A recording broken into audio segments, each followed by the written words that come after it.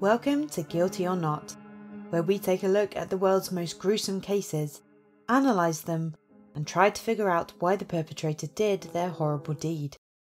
Grab yourself a cup of coffee or tea, find a cosy place, and let's dive into the case of Helle Crafts.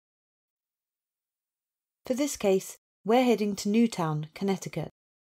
Newtown is a scenic, small town that was known as the safest place in America until the tragic events of the Sandy Hook school shooting. But there was a lesser known tragedy that took place many years before the 2012 mass shooting the 1986 murder of Helle Crafts. Helle Lorck Nielsen was born on the 7th of July 1947 in Charlottenlund, Denmark. She was an only child who grew up in a small village and was known for her vibrant nature. Helle enjoyed school and had a knack for picking up languages with ease. By the time she moved to England to attend college, Helle spoke French, English, German, Norwegian, and Swedish at differing levels. After college in England, Helle au paired in France. While in France, Helle got a job with Capital Airways as a flight attendant. She thrived in this role. People loved Helle, she was engaging and absolutely beautiful. She would then move on to Pan Am Airways after hearing the airline was looking for flight attendants in Copenhagen. Helle was one of 200 candidates who applied and one of only eight who were selected. The job required Helle to travel to Miami for training courses.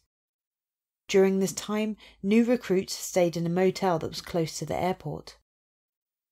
On the 24th of May 1969, it was in this motel that Helle met 31 year old Richard Crafts. She didn't know it at the time, but this meeting changed the course of her life forever. Richard was an airline pilot who had been born in New York City on the 20th of December 1937. His father was a successful businessman, former World War I pilot, and college football player. Richard finished high school and later dropped out of college to join the Marines in 1956.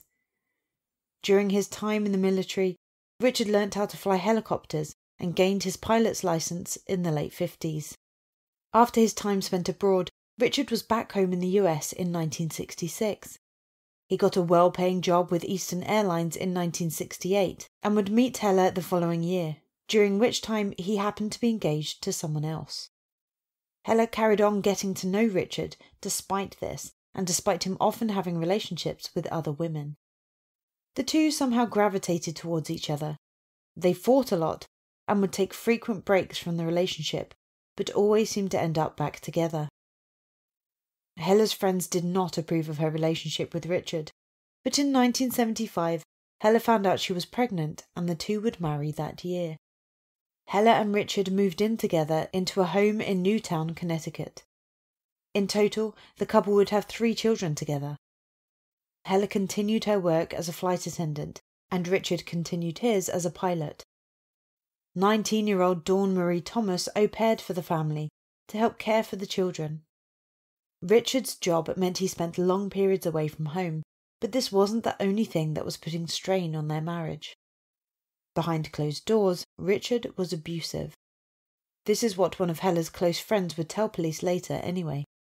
There were also occasions when Helle was seen in public with bruises on her face. She had reportedly told a friend that Richard had treated her terribly during her first pregnancy, and things didn't get better after all the kids had been born. Richard would come and go as he pleased, disappearing for days and not telling Helle where he was or where he was going. Richard also had complete control over the household's finances. He purchased things like mowers and tractors, and even a $25,000 backhoe. Not that he used them, they just sat in the yard, which over the years turned into a real eyesore. In 1982, Richard took up something new. He became an auxiliary police officer in Newtown. This wasn't a paid position, but he took it very seriously. Keep in mind, Richard was still a pilot with Eastern at the time. He was often in and around the police station, and there were occasions where he responded to police calls despite not being authorized to. Four years later, in 1986, Richard got an official position as a police officer in the neighbouring town of Southbury. He earned a measly salary and even forked out his own money to attend seminars and purchased a 1985 Ford Crown Victoria, the type of car used by the Connecticut State Police. This Ford was fitted with radios, police lights, and a siren. Again, all out of Richard's pocket. By 1986, things were on the rocks for Richard and Helle. He had maintained multiple affairs throughout their marriage, something that she reportedly tolerated for the sake of their children or to keep up the appearance of a happy marriage. And Helle had gotten to the stage where divorce was on her mind. That summer, she got herself a divorce attorney and went on to hire Keith Mayo, a former Connecticut police officer who was working as a private detective. Keith was tasked with gathering evidence against Richard. It is unclear how long Keith had been working for Helle when he made the following call to the Newtown Police Department on December the 1st, 1986. Keith called to report that his client, Helle Crafts, had gone missing and he suspected that her husband may have murdered her. Keith insisted that Helle's appearance be investigated right away. He was able to tell police that Helle had left home on the 19th of November and was planning to go to Westport and visit Richard's sister. Helle never arrived and hadn't been in contact with anyone since that day. Her car was found at Kennedy Airport, conveniently in a Pan Am airline employee parking space. Since he had worked with the department, Richard was far from a stranger to the detectives. He spoke with them on the 2nd of December and he confirmed what Keith had said about Helle's movements. Helle was supposed to go to his sister's home in Westport since there was no power in their area due to a storm.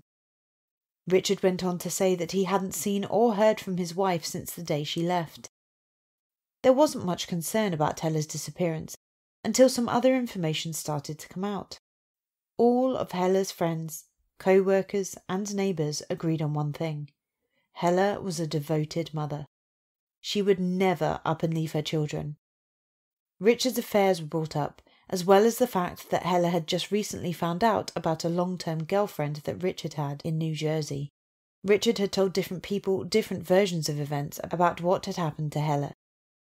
And then a friend of Helle, Lena Johansson, told something chilling to the police. She claimed that Helle had said to her, quote, If anything happens to me, don't assume it was an accident. End quote. This was said to Lena in early November. The other person that police spoke to was Dawn, the au pair. She told them that Richard had woken her up at 6 a.m. on November the 19th and told her that Helle was driving to his sister's house and that they would meet her there later. This struck Dawn as strange. The reason that the electricity was out was because of an unusually violent winter storm that had blown through the town during the day. Hardly driving conditions. Richard then insisted that the children needed to go to his sister's house, so he loaded them in the car along with Dawn, and they left at 6:30 a.m. Dawn recalled that Richard left practically right after he had dropped them off. He came back at 7 p.m. to pick them up. Even though Helle had supposedly left before them, she was nowhere to be seen. Dawn also mentioned that she had noticed some missing pieces of carpet from the master bedroom. Having heard from multiple people about the different stories and the suspicious events of November the 19th, Newtown police got Richard in for a polygraph test. The problem was, he passed. Things were adding up, and it didn't make sense that Helle could have simply disappeared. With this, he was called in for another interview. But they were still unable to get anything incriminating out of him.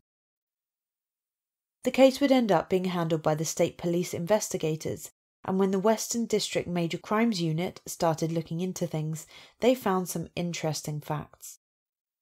They looked at his credit card purchases and phone records from the time before Helle disappeared. Robert had purchased a large freezer at a store in Danbury on November the 13th. It cost $375 and he picked it up from the store on the 17th. The detectives also noticed that Richard had rented some sort of machinery that cost a whole $900. Over the 1986 Christmas period, Richard and his children were in Florida. This is when police executed a search warrant of 5 Newfield Lane. They found a home that was in tatters. There were dirty clothes all over the place, and the dirty dishes were left in the sink and along the counters. The carpets had all been pulled up. There was a freezer found, but it had nothing inside it. They didn't know that this wasn't the freezer that he had newly purchased, though. That one wasn't in the house. It had already been thrown away. The search lasted a few days, and over 100 items were seized as evidence.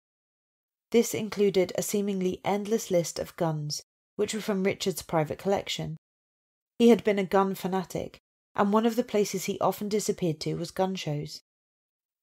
A luminol test was also performed in different spots throughout the house, and this did test positive for the presence of blood. Unfortunately, they still didn't have an answer to where Helle Crafts had gone. The next development was learning that the piece of machinery rented had been a wood chipper. Richard had picked up the Brush Bandit wood chipper on November the 19th and supposedly used it to chip some wood. Then Joseph Hine enters the story. He was a utility man who had been working on River Road ploughing snow. Joseph had seen a wood chipper and a U-Haul on the side of the road. It was the middle of the night. He thought it bizarre at the time, but was now able to pass this information on to detectives.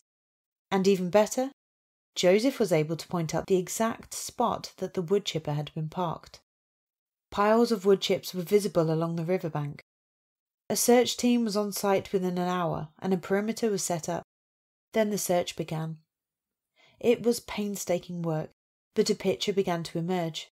Envelopes with what appeared to be Helle's name were found strands of blonde hair, pieces of bone, cloth, plastic, wood, and unidentified items, all of which had been put through the chipper. The riverbank wasn't the only thing that was searched. Divers also braved the icy waters to sift through the mud for any evidence.